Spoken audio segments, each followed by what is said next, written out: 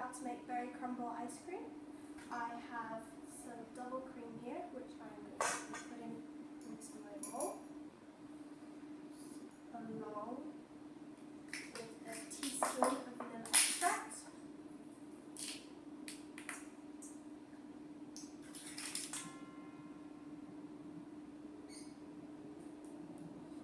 I'm now going to whip the cream until it's thick, but not quite whipped yet.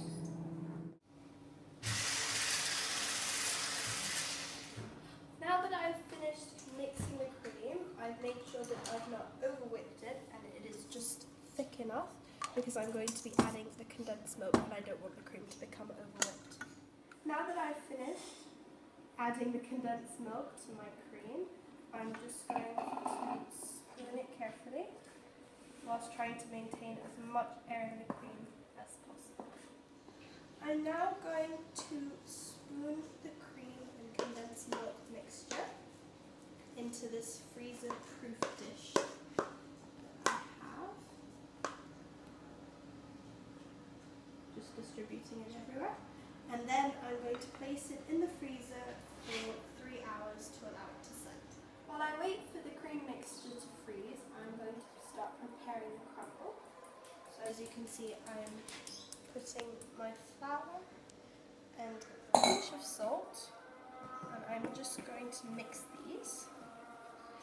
And then I am going to add the butter cut up into little cubes. Now that I've finished adding all the butter, as you can see it is all in cubes, I'm just going to start kind of mushing it, I don't know another word, with the flour and the salt. Um, and gradually, as you can see, it starts to break up and blend with the flour, creating a crumbly consistency.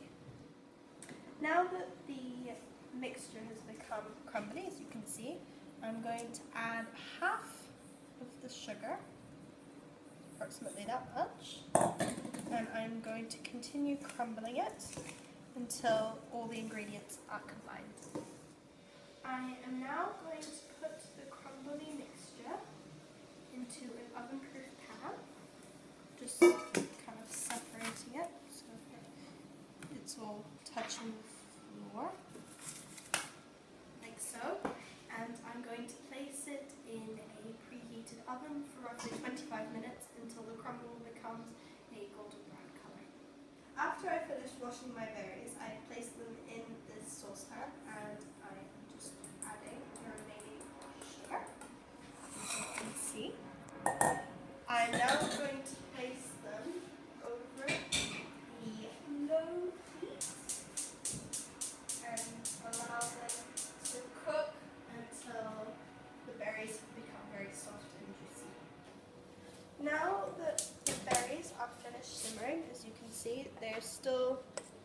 Few that are whole, whereas the rest have kind of turned into liquid.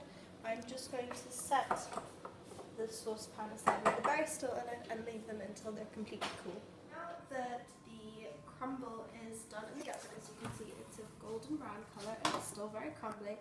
I have removed the ice cream from the freezer and it's not quite firm, it's still kind of creamy and the berries are now cold. So what I'm going to do is just spoon the berries onto the ice cream like so.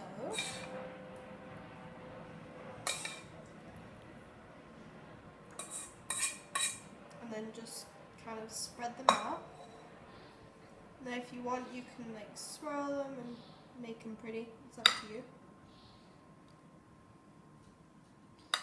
Like that. Then I'm going to add the breadcrumbs and then place it back in the freezer for four hours before I serve it.